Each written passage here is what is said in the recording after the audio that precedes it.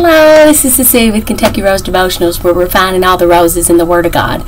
And today we are going to start a new topic of actions speak louder than words. And we're going to get into the book of James. And I believe this is going to be an encouragement to me, an encouragement to you as you listen because all the people that I know, everyone that I talk to is going through some kind of trial. Um, they're either going through oppression, depression um, by the enemy to try to steal, kill, and destroy. Um, um, whether it's your thoughts, um, whether it's your finances, whether it's your family, there's attacks coming from all directions, and it might be it might be every direction you feel like that you're being attacked and, and oppressed, and you feel like God, what am I supposed to do in these times? What am I? What is what is it that you're calling me to do? Because I feel so discouraged. So what? How can I encourage myself in God today? How can I let my faith speak louder um, and do the things that you would have me to do in this time? Because we're in a, a time where everything is being perverted and twisted. And it is a time where we see that we know that Jesus could come at any moment. And so we know these things, but yet we feel like maybe that our life has just kind of been put in um, on the pause button, if you will. And we can't understand, you know, why aren't we moving forward? Why aren't we getting to do the things that we feel like that we need to be doing for the kingdom of God? And so I want to bring this encouragement to you today in the book of James um, to let your faith speak through your actions. That it's not enough anymore for us to just say we believe in God. That's not enough.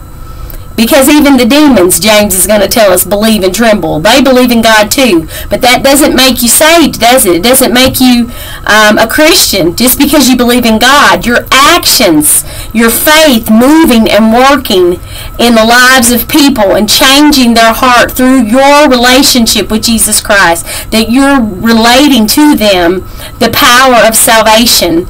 And that is being related through the fruit that you're producing. And that's what James is telling us us. This letter was a letter to tell us, the Christians. This is a letter to the Christians. This is not a letter to the unsaved. This is a letter to the Christian to say, rise up and take action. Do what you need to do to show and display that you belong to Jesus Christ. And there's fruit that's going to be displayed from that. And people are going to recognize that you belong to Jesus because of the things that you're saying, the things that you're doing, and the fruit that you're producing. When you live for God, you produce fruit. And that's what James is going to be, be telling us about. James, a little bit of history on him. He was the half brother of Jesus. He was the oldest brother of Jesus, okay? And he was giving us this letter as an ethical aspect of the Christian life to show us that Christians should have ethics, that Christians should be displaying faith through their actions. That's not just that's not all of it, but that's a good portion to uh, appeal to us is really what he was doing as a believer. That this is vital that we put forth the outward actions that show the inward faith that we possess. And it else, if we don't do that, then it's like saying that our faith has accomplished nothing. I don't want to go stand before the Lord one day and Him say that my faith accomplished nothing. I want to stand before Him and say that my faith was pleasing to Him, that my faith produced the fruit that drew many to know Jesus Christ. That's what God's asking all of us to do. Wherever we are, whatever we're doing, the most important thing in our life right now with the coming of Jesus right upon us is are we right with God and how many people are we taking with us? Are we showing that fruit? Are we evidencing the fruit that a Christian should possess? And so realize today that if you're a Christian, it isn't enough to say you believe in God anymore. That's not enough. But we've got to put the evidence of that belief to work. We've got to show that. We've got to realize that without faith, um, you know, your faith without works is dead. It's dead. It accomplishes nothing, James is telling us. This is a living faith. And if you're going through trials and temptations, this book is like no other to get you through, to encourage you to keep going. It's kind of like it's kind of like a, a, little whooping for our soul is what it is. You know, we're getting, them when I say whooping, that's what, what we call it here in Kentucky when you got spanked when you were a kid. Uh, sometimes, and, and I'm sure you needed it, um, when we get spanked, um, it, it encourages us to get on the right road and do the things that we need to do. And some some of you out there may not believe in spanking, but I got a few growing up, and it didn't hurt me a bit. I, it helped me uh, become a better person, and it helped me to realize that I needed to do uh, something different. And I'm gonna tell you one thing helped me realize I never did it again, whatever it was, because I didn't want to get that that spanking again. So you know, sometimes we need that. We need correction. We need rebuking to get us on the road that we need to be on, so that we can get closer to God and be a light for Him to this world. So that's what James is doing. James was called James the Just. So we can get already his his personality. Um, his attitude and and what I think is interesting about James is that he was not a believer of Jesus when Jesus was walking the earth. In fact, he was the most skeptical. His brothers and sisters who lived with him in the house, grew up with him, thought he's just our brother. He's not the Son of God. They did not believe. But it took a personal experience with the resurrected Jesus. They didn't believe till he died for them. They didn't believe till they he appeared before them and said, "Look at my hands. Look at my feet. I'm alive, and because I'm alive, you can live too." You don't have to be afraid. You can live fearlessly today. And that's exactly what James took hold of. And it, it, became his life. He became devoted to Jesus Christ. He became a devoted believer. And he didn't identify himself as saying, I'm the brother of Jesus. He identified to say, I am a servant, a bond servant of Jesus. I'm, I'm dying out to James. I'm dying out to who I was, the unbeliever. And I'm going to become James the just. I'm going to become James the, the devoted. James the one who's going to die for what my brother died for. my brother, not just my brother Jesus, but my Lord Jesus. Is he your Lord today? Do, do you confess him to the people around you? Do they know that you're set apart? Do they know that you're full holiness of the Lord? That you're walking with God? By your actions, by your fruit, do they know that? Do they know that you belong to the Savior today? Nobody could deny it with James. They knew who he, who he belonged to. And he did it humbly. And he said, I am a servant. I am a bond servant. I am in permanent relationship to serve for my Lord. Are you willing to serve for your Lord today? Are you willing to do whatever it takes? That's who he was, James the Just, half brother of Jesus, which is recorded in Matthew 13 55. He was also the brother of Jude, who also uh, wrote another book of the New Testament. He led the church in Jerusalem according to Acts 15, and he received a special appearance of the resurrected Savior, and that changed everything for him. And it's recorded in 1 Corinthians 15, verse 7. You will see that it says that he appeared to Cephas, which was Peter. He appeared to the other apostles. He appeared to all the people in the upper room, and then he says he made a special appearance before James, his brother. He wanted James to know I was really who I said I was. I am. I am that I am. I am the Messiah. I am the one that you've waited for. Even though I lived in the same house with you and you didn't believe me while I was here, I want you to see now and believe. And he did. And, and like I said, he became a great devoted uh, follower of Jesus, Jesus, so much so that people said he prayed so much he had callous knees from his prayer life and that he was martyred, um, thrown from the top of the highest point of the temple in Jerusalem. He didn't die from the fall, but he did die at the bottom when he was beaten to death by his attackers. But as he was attacked and as he was dying, just like Stephen did, he said, Lord, forgive these people that have attacked me. Now that's the love of God. If that's not devotion to Jesus, I don't know what is. When you're willing to die for him, when you're willing to forgive those who, who cause you harm, who hurt you, then you really have something. You've got something that's beyond this world. You've got something that only Jesus could give you. And this is who James is. Um, so as we look at this letter, this letter written to the church, a letter to encourage us, to, to have the fruit of faith, to have the evidence that we believe, and, it, and the teachings of Jesus are all over this book. And it's because James took it seriously, even though uh, people didn't think he was taking it seriously. He was listening.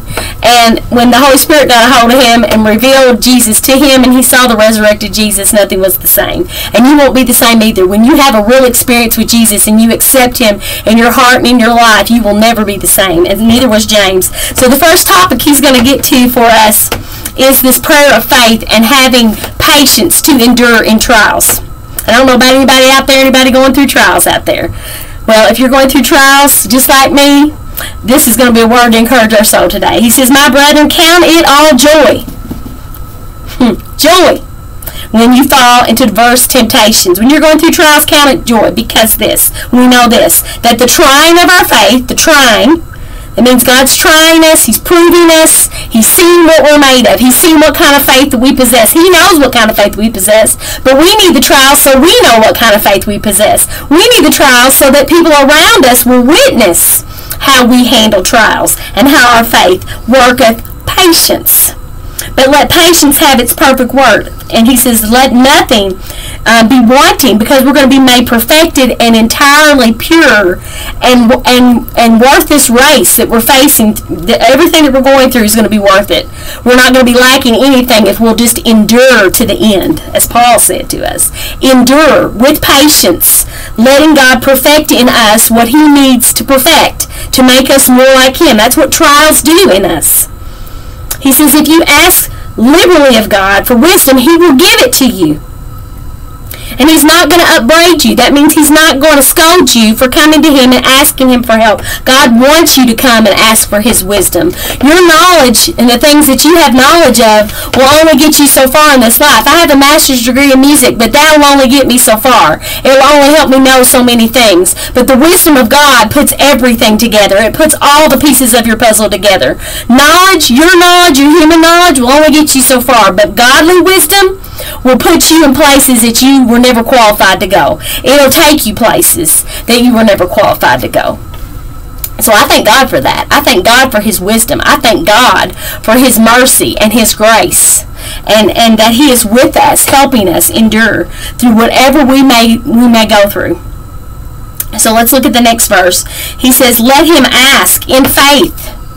Nothing wavering, mean don't doubt when you ask God. Believe him because if you waver, he says you're like the wave of the sea. You're being driven and tossed by the wind. There's a lot of people who are being driven and tossed by the winds of life. It might be the people that they live with that are tossing them to and fro because those people in, in their life, they may have not made a decision for Christ. And so that's pulling them off. It's distracting them. It's destroying them spiritually. So we got to be careful of the company that we keep. We cannot keep company with darkness.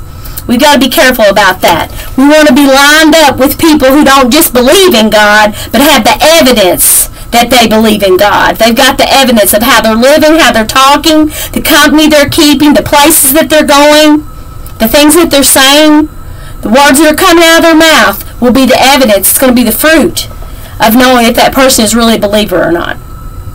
So this was this was such a man that James was. Count it all joy because you got to realize that trials are going to come to everybody. It's going to happen. It's inevitable that you're going to have trials. It's inevitable that things are going to happen, that suffering's going to happen, that things are going to come to you that you don't expect. But it's used to produce fruit, and this, produ- this fr- fruit that's being produced is patience.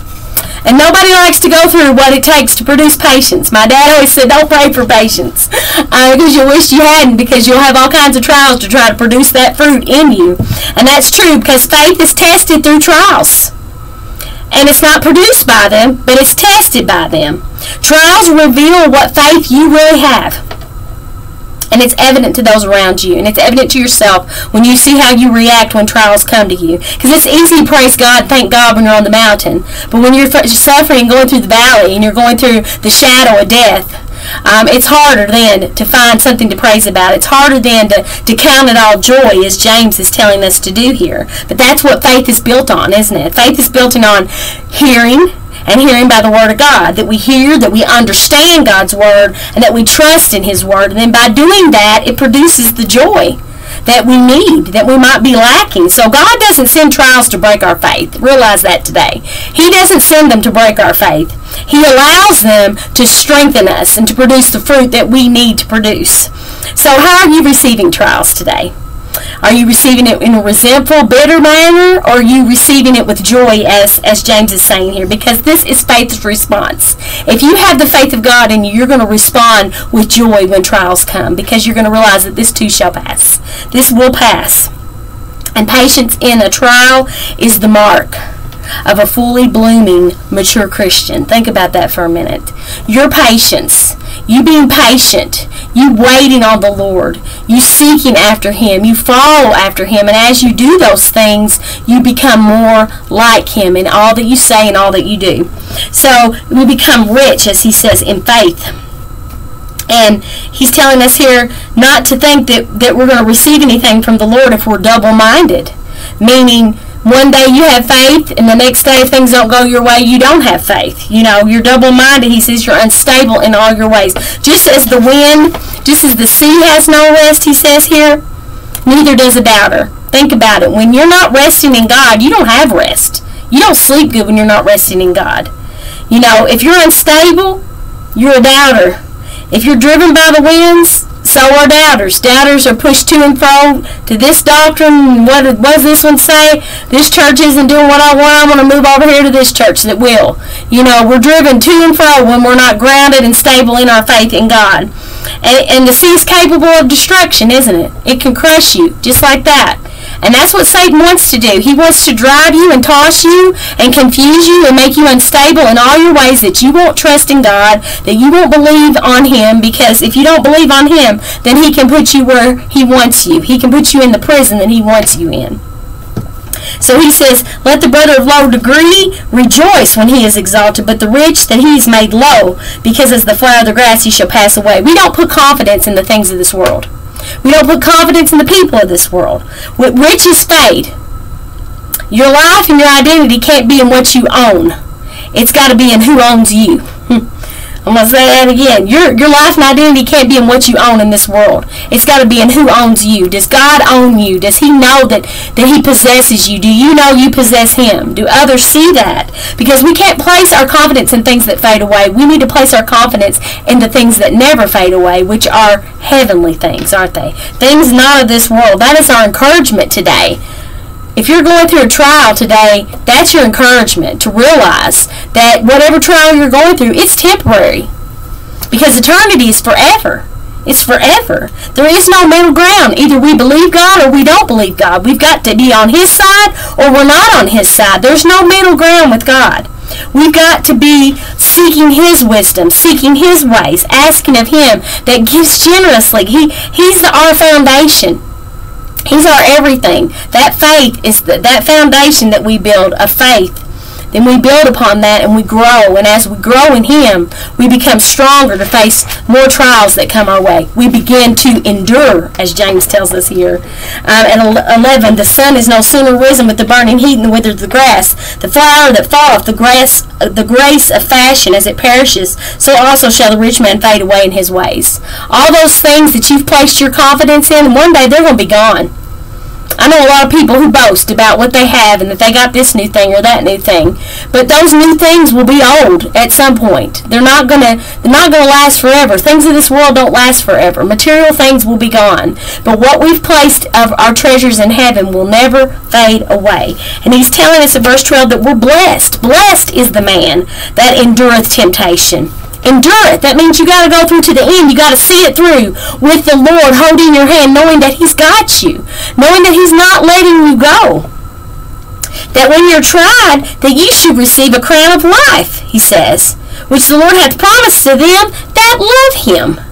He's promised that to you. He says, Let no man say he is tempted that I'm tempted of God, because God does not tempt us with evil, neither can he be tempted by any man. But every man is tempted when they are drawn away by their own lust and enticed. You know, we see so many people right now that are just having a falling away, and they're falling away because they're being enticed and pulled away by people, things of this world. Satan is tempting them with the things of this world, people of this world and they're going along with them because they might love, they think they love that person. So they're going to go along with them to make them happy. But realize at the end of the day, you cannot go along with people and make them happy when they're doing things that are against God's word. You have to take a stand. You have to say, I have to live for God. I have to do what I'm supposed to do for Him. So we're going to be blessed when we do that. We're going to be blessed when we endure temptation, that that testing reveals our genuine and strong faith the work of God in us is going to be evident as we resist temptation, not when we give in to it, when we resist it. Our love for God is going to be our motivation. Our honor, the glory that we give to God, and our relationship with Him. So that's what He's telling us in these verses. You know, God doesn't tempt us we're tempted by Satan. He might allow, God might allow the temptation to grow us and make us stronger, but He's not going to do something to harm us or to tempt us or to make us do something to draw us away from Him. That's never God's intention. So He says we're, we're pulled away when we, we're pulled away by our own lust, by our own wants, by our own needs. That we lust after things and then it brings forth sin. And in that sin, when it's finished, brings forth death. Think about that something may seem pleasurable now. It may seem comfortable to you right now. It may seem like the right thing and feel good right now. But that thing that you're doing, is it going to bring birth fruit of sin in your life or is it going to bring forth the good fruit of God in your life? That's what you have to ask yourself at the end of the day. Being with this person, is it going to hurt me or is it going to to bring glory to God by me being with that person? Are they encouraging me in the ways of God? Because at some point we have to make a decision. We have to make a decision. Are we going to be on the Lord's side or are we going to be on the side of someone who's leading us off into a path that we never intended to go, which will lead to death? He says, Do not err, my beloved brethren. Do not err, but err on the side of God's side. Do what you know is right. And that, that in testing that we go through, temptation doesn't come from God. He may allow it, but he's never going to entice us to do evil. That's not in God's nature. So if you're being enticed to do something that's out of God's will, uh, you know, like shacking up with somebody, living with somebody before you're married to them, um, or or living with somebody that is not a believer, you know, someone that is not doing the right things of God, that is just pulling you off a path, taking you farther and farther away from God. Be careful. Be careful of those things, because we don't know when the Lord could come back. And I don't I don't want you to be lost. And so I'm telling you the truth of the word of God here today that you know God may try us. We may go through different different things that may tempt us and when we draw off into those temptations to do those things that this world says is okay. The world says you can live with anybody you want. The world tells you you can do whatever you want. You can be whatever you want. But that's not what God's Word says. God says we're fearfully and wonderfully made in His likeness, in His image, and that we're to do the things that bring glory to God. So we've got to watch what we do and what we say. We've got to draw ourselves toward God, not away from Him by our own desires because the devil is always enticing you to be pulled away. So deception is, is the devil's greatest um, tactic that he uses against us to say everybody's doing it. Well, that's not true. Everybody isn't doing it um, or this is this is the normal. You're you're not normal if you don't do this. That's a lie of Satan. So remember God's goodness. Remember who God says you are. Remember your identity is in Him. That God's goodness is constant. It doesn't vary. I love what James says here. Every good gift and every perfect gift is from above and it cometh down from the Father of lights, not the Father of darkness, the Father of lights. I hate all the places that I've had to go to where it's dark. I don't want to go in a dark place. I've never liked the darkness. Even when I was little, I wanted the light on. I wanted a little night light. I don't like the dark. I want to be in the light because that's what Jesus is. Jesus is the light. And churches, turn the lights on. We need the light on. We need to see what's going on. If you're ashamed to come to the Lord and you only want to come to Him in the darkness, shame on you. We need to come to God and lay it all out on the table before Him and be, be very clear that we know who we belong to and that we're willing to come to that altar anytime we need to to confess our sin before man and God. Because I'll tell you what, I'd rather confess it here on this earth and everybody see it than have it confessed in, in the, the courts of heaven in front of everybody that I didn't know Him, that I didn't come to Him when I could have because I was ashamed to come in the light. I want to come in the light. I want everybody to see in broad daylight that I love Jesus. I don't want to do it behind closed doors. I want to come out. Everybody else is coming out of the closet. Christians, you need to come out of the closet. Come into the light. Come into the light of Jesus Christ today. That's what he wants from us. He wants us to quit hiding in the dark. It says there is no shadow. There is no turning. God is constant. He's consistent. Whew. Praise God. We need something that's consistent in this world. He is the only thing that's consistent. He doesn't associate with shadows. He doesn't associate with dark things. He is the Father of lights. He is the author of our salvation. He is our glory. when we live for Him, we're His glory. Hallelujah. God brings forth that good fruit in our lives to be the evidence that God is in this world. The love, you shall know them by our love for one another. People will know God because of the love that you show them, the love of God. That's what love is. Love isn't love. God is love. He is our everything. And He brings forth the good fruit that we need. So we stand together with Him. His own, He says, will begot us the word of the truth, that we should be the kind of first fruits of His creatures. We're the first fruits of God. I hope you give your first fruits to the Lord. Whatever you make at your job, I hope that you give your 10% to the Lord. It's not that He needs it, but we give it to Him because we love Him, because He is first in our life. We give it to Him for the for the work of God to continue to carry on.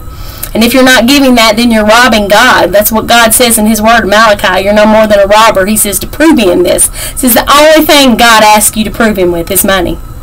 That you know that your money doesn't own you, but that God owns your money, that He's in control, and that we give it over to Him because we're the His first fruits. So I'm going to stop there today because this is a good place to stop. St- because the next time I talk to you, we're going to talk about being doers of the Word, having that action type faith, the, the faith that moves, that verb faith that that moves. It's an action and we're going to talk about God's goodness some more too and how to take a stand against anger. So I hope that you have enjoyed this today. I hope it has encouraged you to keep going, to endure trials with joy, to know that joy is coming. Don't give up. Jesus said to endure it. Endure. Keep going. Don't give up. Don't quit. This isn't the time to quit. This is the time to keep going. We got to carry on. We got to live for the Lord. We got to shine our light and take as many with us as we possibly can to heaven. If this has helped you today, please like and share and subscribe to our channel. We would love to have you help us share the Word of God with as many people as we can. And that's how we do it, through you sharing it. If you even just share it with three people today, that will get the Word of God out to, to more people than you can imagine. So God bless you, and I'll see you soon.